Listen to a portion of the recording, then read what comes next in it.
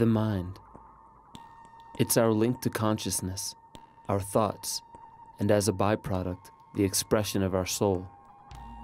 That free and unfettered aspect of being human that no one else has jurisdiction over. But as easily as the mind expresses the depths within, it remains easily lured into a false reality where thoughts become the object of attention and the source becomes forgotten. It is here where some scientists and philosophers believe we have lost the true reality and in turn become products of our environment and culture. And it wasn't until scientific study partnered with ancient rituals that they discovered that there might be a way to reconnect the soul and the mind more quickly and intimately. But are these just escapist tools? Or could they actually be a cure for the common human issue on this planet? The sleeping mind. I don't know which half is trying to get into the other half, but somehow or other, and I seem to be going like that. Suddenly you notice that there aren't these separations, that we're not on a separate island shouting across to somebody else and trying to hear what they're saying and misunderstanding. Well, I mean that there are the colors and the beauties, the designs, the beautiful way things appear. When it comes to drugs, please, for yourselves, for your families, for your future and your country, just say no.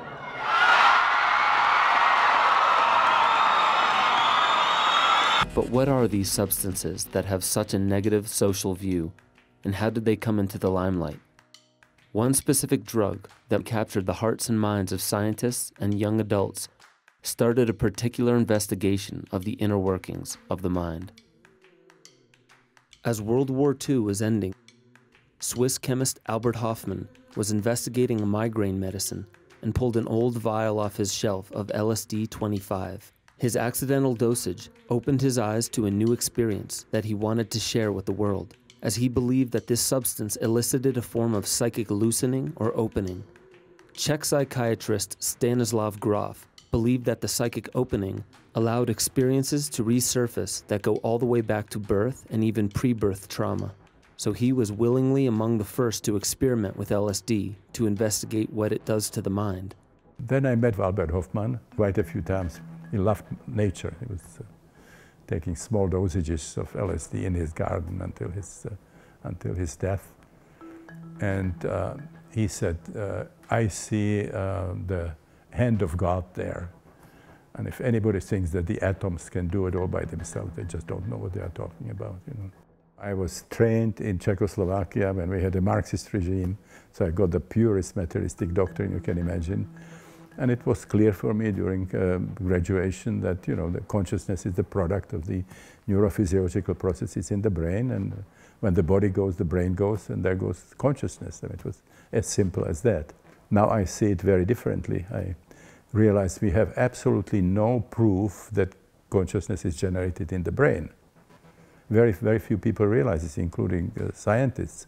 So those are, those are tremendous uh, contributions that uh, psychedelics can, can bring. But the psychedelic experience wasn't something new when LSD hit the scene. Since the late 1800s, experiments were already being conducted on the psychedelic plants containing mescaline and psilocybin. Mescaline comes from the peyote and huachuma cactus and is used in many Native American rituals. The Huichol mothers of Jalisco, Mexico would introduce peyote through breast milk and by chewing off bits and feeding them to their children. Even the Spanish chronicler, Fray Bernardino de Sahagun, reports that among the Chichimeca and Toltec, peyote was being used at least 2,000 years before the European explorers arrived. Archaeological artifacts were found in a cave near the lower Pecos River region in Texas, dating back to 3700 BC. In South America in prehistory, the Chavin were using the Huachuma cactus in their own religious ceremonies. Huachuma has many different psychoactive compounds than peyote, so the experience is said to be slightly different. But the sacramental use of each were both used to connect with the divine. These cacti species are native to the Americas. Psilocybin is from a class of mushrooms and used by indigenous from nearly every continent. In Central and North America, We see mushroom imagery in many indigenous artifacts, such as the mushroom stones found in highland Guatemala, which were used to grind mushrooms before their use. Some images refer to the Amanita muscaria mushroom, which isn't a classical psychedelic as it works on different neurotransmitter pathways, but still is a psychoactive. The Olmec, Toltec, and Aztec imagery shows that the Americas once had a rich history of mushroom appreciation before the European settlers and missionaries resisted their use. Imagery in Siberia among the Chukotka appears in rock carvings. In Hindu imagery, such as Lakshmi holding what appears to be mushrooms, some have debated these images as misidentified everyday objects. But believers of the deep psychedelic and shamanic roots of almost every ancient culture and religion say that you'll even find references in the Bible. The King James Version of Exodus 16:14 gives a description of manna that seems very similar to mushrooms in shape and location, and even the time of day that they appear. Even a modern look at the witch hunts and trials shows a deep appreciation for psychedelic and psychoactive plants that account for their tales of flying on broomsticks and shapeshifting into animals. There are too many to deny that psychedelic mushroom and cactus use were integral to many cultures worldwide. Whatever the conquistadors of the New World were so afraid of seems to still be present as we fast forward to the end of the 1960s. The revival of psychedelic appreciation among young adults began affecting the national narrative, and anti drug propaganda was beginning to lose its effectiveness. How would the world deal with this new problem? People attempting to dissolve the reality constructs of culture. What would this mean for the rest of society? Psychedelics are the antidote to propaganda in some ways. They help you develop a mindset that sees through all that. That's the real reason they're considered dangerous. You know, as Terence said, psychedelics make you have funny ideas. But funny ideas are dangerous ideas, you know. So that's the reason psychedelics are prohibited because they encourage you to think for yourself. You know, so that nation states act as though it's kind of normal to have wars. You know, go drop bombs on people, send in the troops. It's kind of normal thing to do. It's not a normal thing to do at all. It's a completely abnormal, aberrant, psychopathic thing to do. We shouldn't be going out there and killing other people for some sort of weird national goal. It's a terrible, terrible mistake that we're making. And now the toys of war have become so big and so huge that they actually pose a threat to the whole future of, the whole future of humanity. The power of psychedelic plants for perceiving higher patterns and seeing through rhetoric led to a desperate reaction by superpowers, shutting down the collective memory of traditional indigenous practices and cutting off the public from legal use. Quickly, independent chemists were making slightly altered compounds which were technically not illegal. To combat this backdoor approach, the Analog Act was passed, and the DEA was granted emergency scheduling power, in which they could declare any substance illegal and may take up to a year to decide what schedule to class it as. Psychedelic plants and synthesized versions were put into Schedule 1. This category proclaims the substance is highly addictive and has no medicinal value. Was there any evidence for this claim, or was it a fear move? The classic psychedelics have been used for millennia, really, if you think of um, you know, mushrooms and peyote. Um, no evidence of toxicity. If you took heroic doses, I suppose you'd see increased blood pressure, but in the normal doses in the studies, you really don't see that happening. There is no craving to take them. As a matter of fact, they're anti-addictive, you know, in the sense that you often have to kind of screw your courage up to take them. The addictive qualities of psychedelics are non existent. In fact, many of the psychedelic plants are used to quit highly addictive drugs like opiates.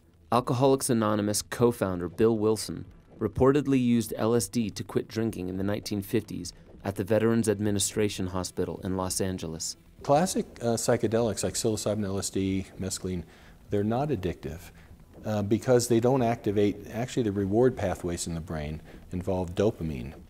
Psychedelic plants mimic the neurotransmitter serotonin, and tolerance builds quickly at these receptor sites.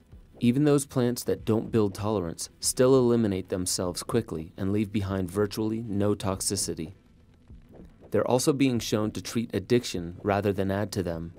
There are so many benefits coming to light from these substances that groups such as MAPS, Hefter, Beckley, and many others are organizing a science based campaign to reverse the prohibition because the evidence is clear. They are not addictive and they have remarkable medicinal and therapeutic value. So the question remains why are highly addictive and toxic substances in Schedule II with widespread medicinal use, while these age old plants, with a safe and ceremonial history going back many thousands of years and no evidence to prove physiological harm, are in Schedule 1 lockdown?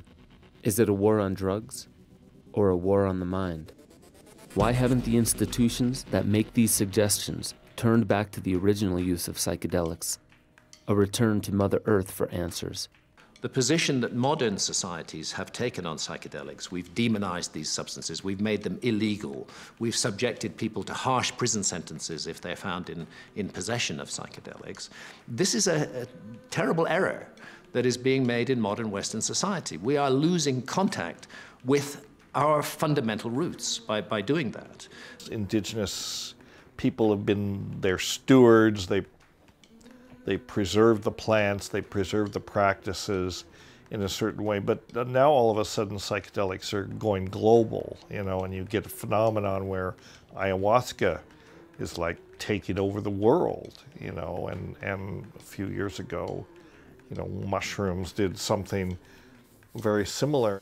With all psychedelic plants, the traditional shamanic use of them nearly always includes a community and ritual setting shamanism is essentially a living tradition of alchemy that is not seeking the stone, but has found the stone. The ritual simply means an arrangement of the certain setting for certain intentions. This would also be true, for example, of a Native American church peyote ceremony. The same, they have the same kind of thing. They, it's a group of people, they know each other, some of them are friends, some of them are neighbors, some of them may be invited. They share the intentions. And then they have their, the traditional songs and invocations. They invoke the spirits. See, and that's completely different in a scientific study. And there, there's no psychological discussion. It's not a psycho, it's not a modern Western system.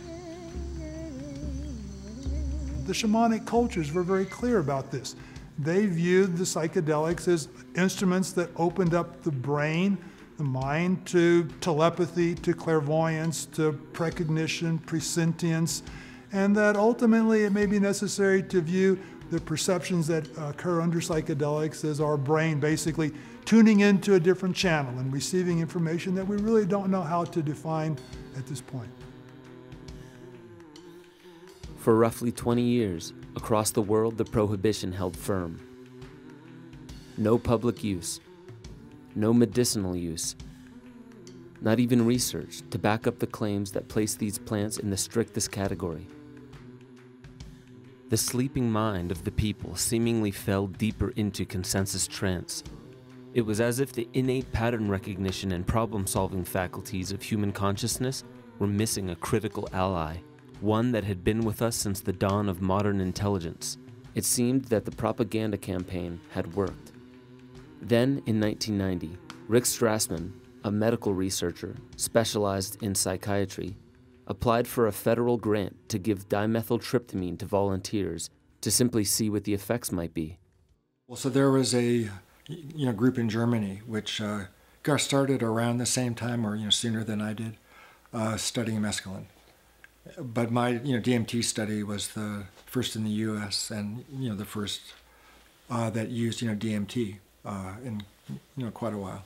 It was pretty frustrating. I never really expected to succeed, and uh, you know I don't think many people did. Public opinion of any mind-altering substance tends to evoke the belief that the experience is simply what happens when the brain fails to function properly as if the default state most of us spend time in is the proper state to operate from.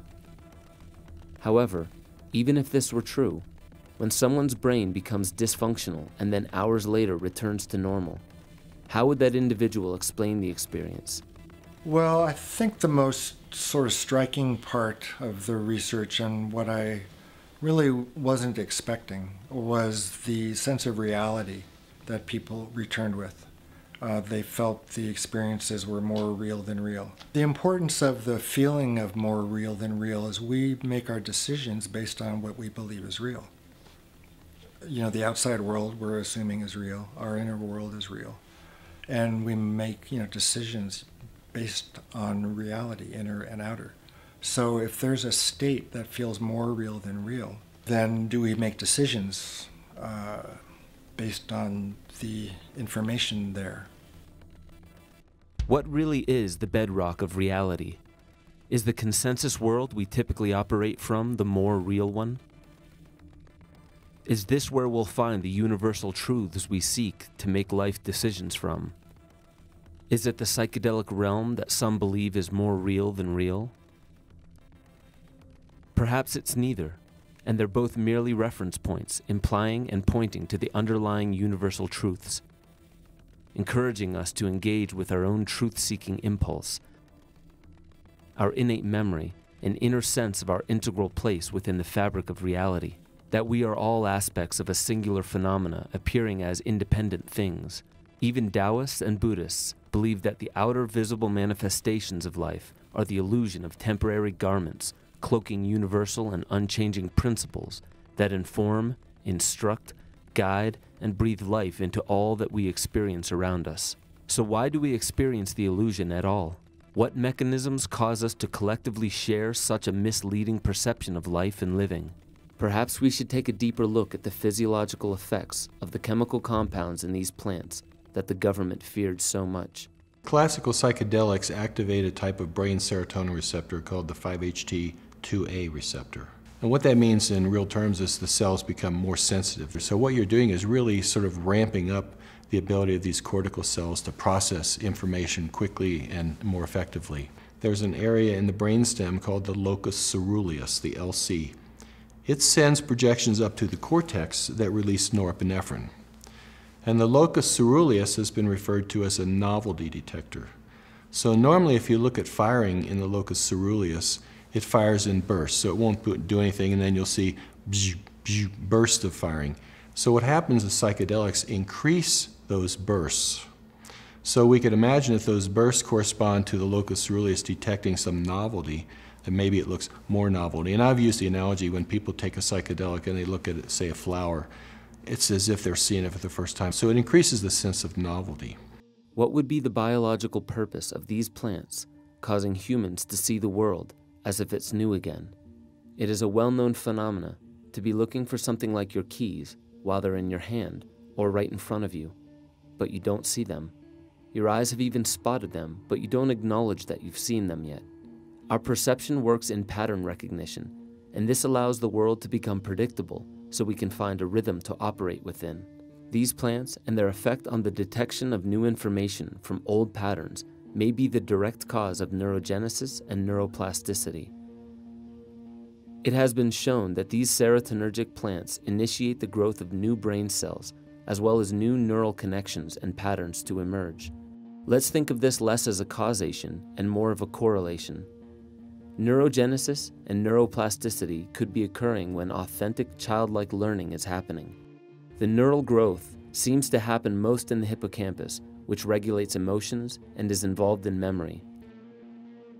A Psymposia.com article says new studies are showing that neurogenesis in the hippocampus, activated by psychedelics, might be a part of the acquisition of new behaviors and new pattern recognition. With proper set, setting, and skill, these changes in the brain may likely be why psychedelics have been so effective in treating post traumatic stress disorder, anxiety, and depression, where other treatments have failed. Imagine for a moment that you were just born again, or that all your memory has been put on hold and you're seeing the world free and clear of cultural conditioning. Imagine all the explanations for what this world is and why it is the way it appears have been erased. Imagine you take a look at the people in your neighborhood, the animals in homes and in nature, the health of the oceans, forests, and communities, What questions would you begin formulating? And what role do you play in all of this? These are the questions one starts asking when introduced to the world of psychedelica. The mind begins asking broader, deeper, and more timeless questions. And perhaps this is what makes them so difficult to properly name. They allow new patterns to be recognized and new behaviors to be adopted, where most of what the Western world calls medicine tends to disengage or mask the symptoms while leaving the root cause untouched. And you even have another term which is entheogens, for usually for the weaker, the amphetamine related and so on, uh, something that uh, awakens the God within. I, I myself prefer to, to call them uh, like sacred psychedelics or sacred medicines uh, because that's, that's what they are. That's, you know, that's how the native cultures uh, saw them and I think it's accurate. It seems that these ancestral tribes understood the many healing qualities of these plants. The most profound effects seem to be the self reflection people go through under their influence. The ability for these plants to confront you with your regrets and worries. Psychedelics help deconstruct old behavior patterns and build newer and healthier ones, as seen from the creation of new neural pathways and the birth of new nerve cells a quality long thought to be impossible shortly after childbirth. Very, very often, what the psychedelic experience will show you uh, is the mistakes and errors that you've made in your life, where, where you have chosen the dark side rather than the side of light, where you have chosen evil, maybe very small, maybe very large, where you have chosen evil rather than good. Psychedelics can give you insights into how to be a better person it won't make you a better person. And if you're a bad person, you may still be a bad person. Some of the most skeptical and evidence dependent researchers speak very lucidly about a very tangible spectrum of benefits they've personally experienced from using these substances responsibly. One of the fundamental effects of psychedelics is to integrate material that's normally not accessible to consciousness. And the fundamental way in which psychedelics make this information available is by a destabilizing of what's called the default mode network. This part of the brain that integrates our sense of self, our autobiographical memories, and our reflection upon our lives. So basically, what's happening under psychedelics is a liberation of the parts of the brain that 80 or 90% of the brain that they say we don't use. I mean, we use it, but we're just not able to access it. Psychedelics give us access to that unconscious. The language facility in the brain is destabilized as well. So the combination of our self identity and our language being put off balance by simply ingesting a plant gives rise to the ineffability of the experience.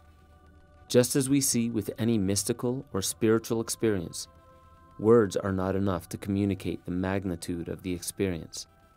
But the possibility has to be considered that, that what the psychedelics are doing is retuning the receiver wavelength of the brain and actually allowing us to gain access to veridical alternative realities, parallel, parallel dimensions. We have the same situation in the television. We would laugh if somebody would study that set and go down to uh, molecular level of the, of the uh, transistors and the, the wires and would believe that this gives you explanation uh, why uh, you get a Mickey Mouse cartoon, uh, you know, at seven o'clock in the evening. If Stan and many researchers are correct in positing that consciousness is not generated by the brain, but tuned into, what then are these psychedelic plants trying to show us? Across the range of the psychedelics, you can definitely say that there, there is a broad range of imagery that is, that is common. Not everybody will have all those images all the time. Not everybody will agree on every single aspect of it, but uh, starts off with what are referred to as entoptic uh, phenomena because they're, they're, they're considered as originating in the, the ocular system, um, where you start seeing zigzag lines and, and, and cross hatches and geom ge geometrical patterns, sometimes fantastically complex and elaborated mandalas, mandalas appear in the, in, in, in the geometry. Then there tends to be the sense of uh, pa passing through a, a, vortex of some kind into a, a seamlessly convincing parallel universe. Is this the same phenomena that humans have been experiencing since the time our ancestors were painting their visions in caves some 40,000 years ago?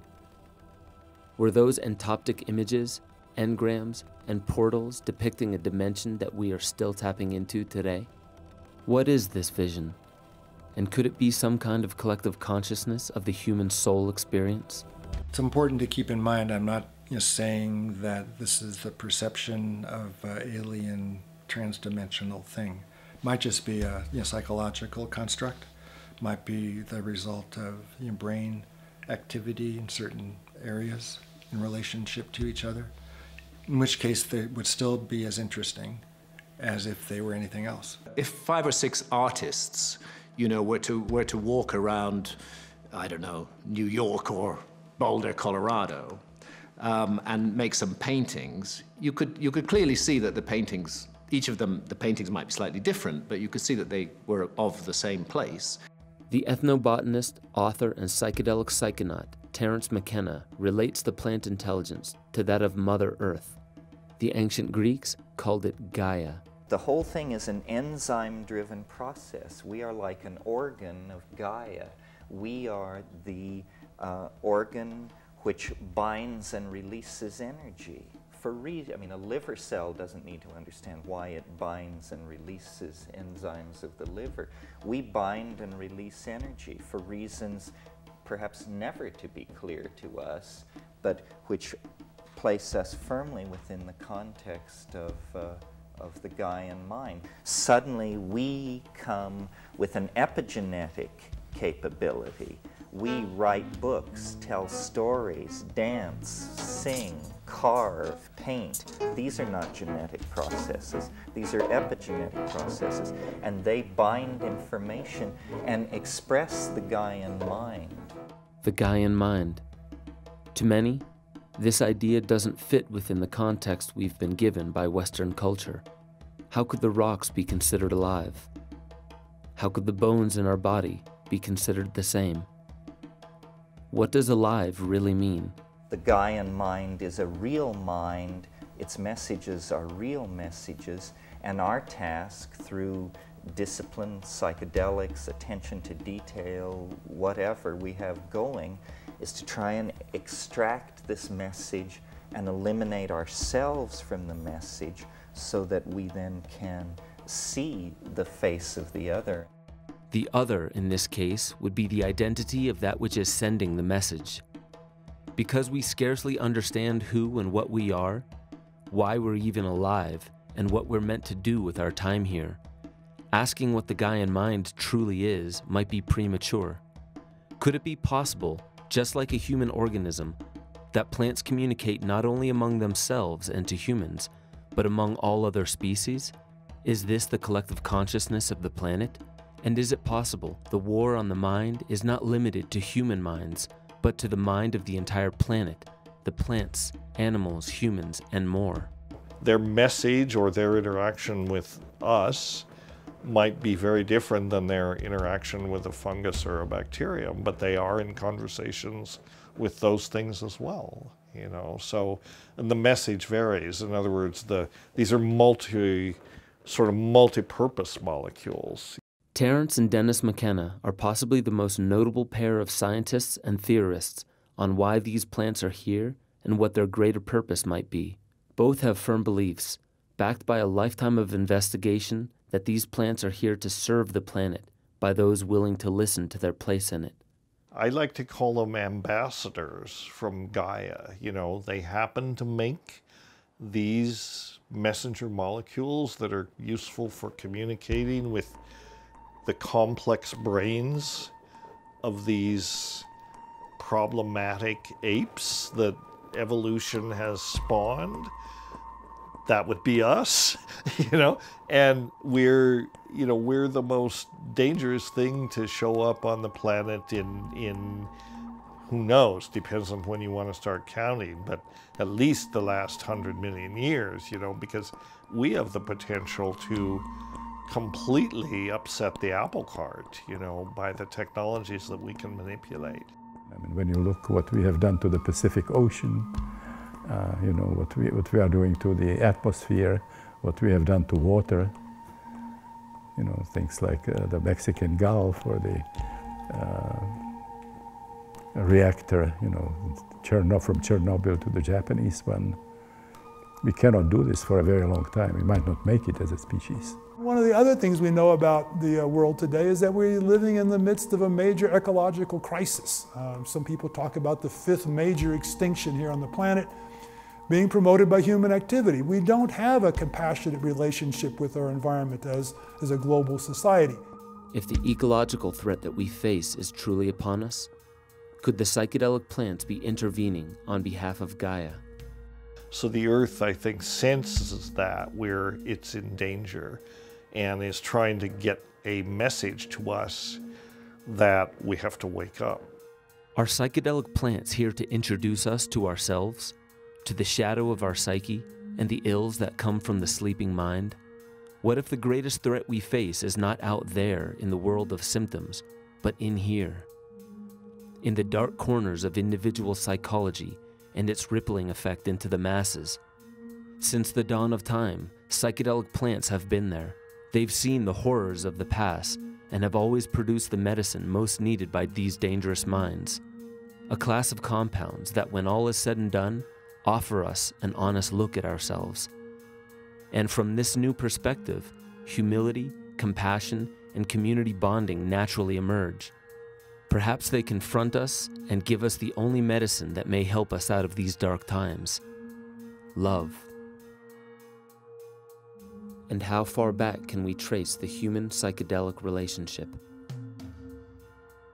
There is really an enormous wealth of evidence uh, to suggest, I would go beyond saying to suggest, to prove that our ancestors, deep into prehistory, were using the kind of substances that we call psychedelics today. And these would be the natural the natural psychedelics that are available from, from plants. These plants have played a, a fundamental role uh, in, the, in, in the human story. But how have these plants shaped our human story? What evidence can be found that suggests at one time psychedelics were an accepted practice on the understanding of the universe? Mysteriously, in 1976, a Soviet archaeologist uncovered a 4,000 year old temple complex in present day Turkmenistan. This complex has many rooms with stone vats coated with residue of cannabis, as well as poppy used to make opium and ephedra used to make amphetamines. This must mean it was a facility to mass produce a hallucinogenic cocktail. Historians have suggested that this region was home to goat farmers that commingled with a nomadic horseback tribe and for the most part stayed quiet of conflict. Could this discovery hold the key to the ancient mystery of the fabled beverage of the gods? Has the evidence and long lost ingredients of what the oldest Indian text, the Rig Veda, called Soma, and the Persians called Haoma, finally come to light? Is this evidence of an ancient psychedelic society? And if so, where did they disappear to? Why has memory of this culture been erased? And could this be an ancient representation of humans going beyond the veil to see the collective consciousness? Up next, we will explore the shamanic root of humankind's relationship with psychedelic plants and altered states of consciousness.